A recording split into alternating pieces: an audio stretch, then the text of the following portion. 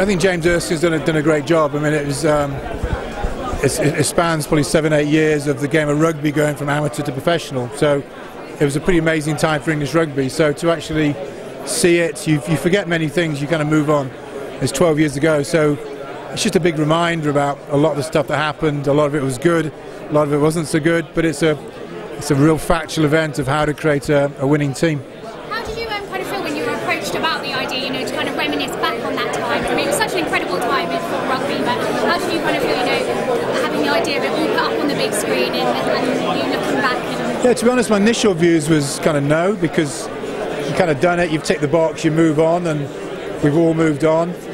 Then I met with James Erskine, who showed me, you know, also showed some of the films he'd made, and some of the films he'd made are brilliant, and they, you know, really helped their sport. And I started to really think about it, and I've really enjoyed it. You know, um, to reflect, look back, see some footage I'd never seen before from behind the scenes. I don't know where they got it from. Um, and it was just good to reflect on that period of your, your life. And it was a big period of a life.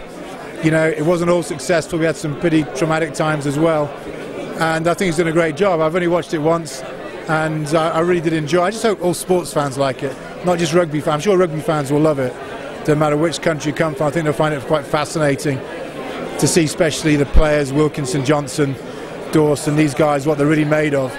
Hopefully, sports fans will like it as well. No matter what sport you do, they'll start to understand what it what it takes to try and win at the, the very very top level. Absolutely. And I mean, what was it like in the stadium that day? I mean, that that final. It was so, it's such a like. I mean, it's a world world famous final now. What was the feeling in that stadium like? Yeah, you remember?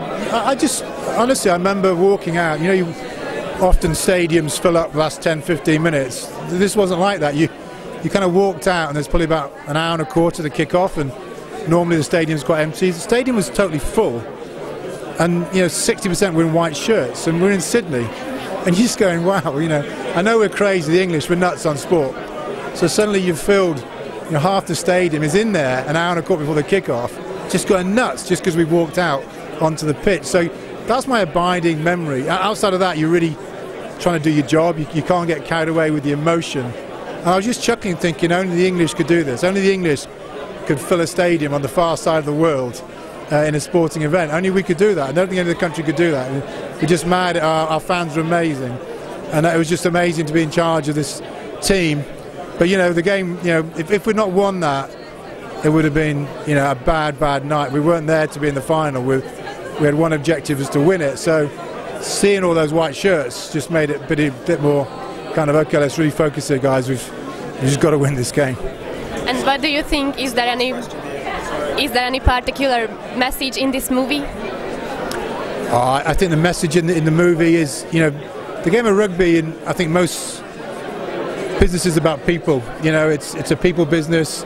You've, you're in a team games. It is about great individuals, great teams, and you know, it's there's, there's nothing changed. If you want to run a successful sport, successful business, the lessons are clear. You've got to throw the kitchen sink about, at it.